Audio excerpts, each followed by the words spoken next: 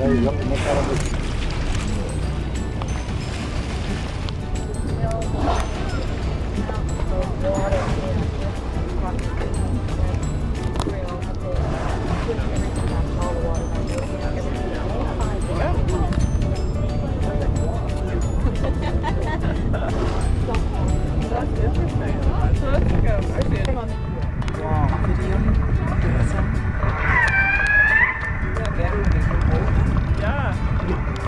That's not the song he calls for now. But let's listen to it. Oh, that's right. No, that's it. Yeah. And they don't, they don't associate. There was a third name out here that I don't, I'm not sure. And then there was a sprouter as well. Uh, and I'm thinking.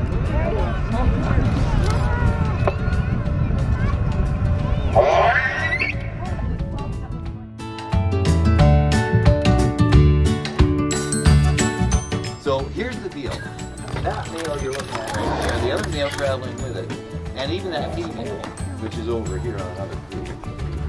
That one. That is. So that one there, that's the one with the little nick. Right there. See that? When you get your film back, you'll see it.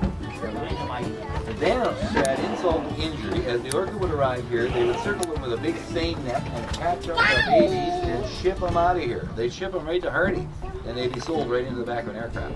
There they would be gone for display purposes at San Diego SeaWorld and all that. And it was called the cropping program.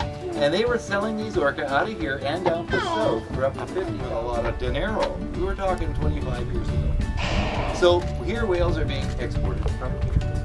Um, Mike Bigg, responsible for all these animals, came out and took a photograph, actually, of these two.